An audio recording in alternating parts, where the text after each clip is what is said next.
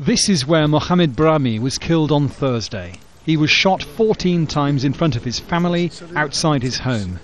With a gun the authorities say was used to kill another prominent opposition spokesman, Shokri Belaid, six months ago. The investigation confirmed that the same 9mm automatic weapon that killed Shokri Belaid also killed Brahmi. Our investigation showed that the man who killed Brahmi was Abu Bakr Hakim, a Salafist who is involved in smuggling weapons to Tunisia. But Mr. Brahmi's widow rejects this.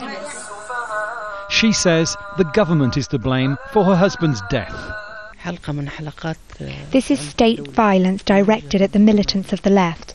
This violence happening in Tunisia is not a simple street fight between two parties.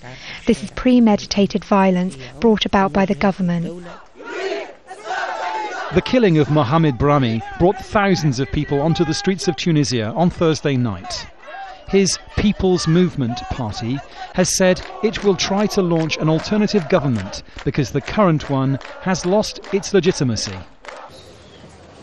The main trade union called a general strike on Friday, closing down the airport, public transportation, and most government offices. This kind of political assassination has been coming because the government has lost its legitimacy in the last year and it's made no effort to fight the spread of terrorism and violence. Mohamed Brahmi was the elected representative for Sidi Bouzid, a city considered by many as the birthplace of the 2011 revolution.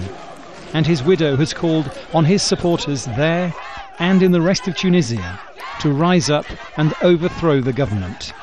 Dominic Kane, Al Jazeera.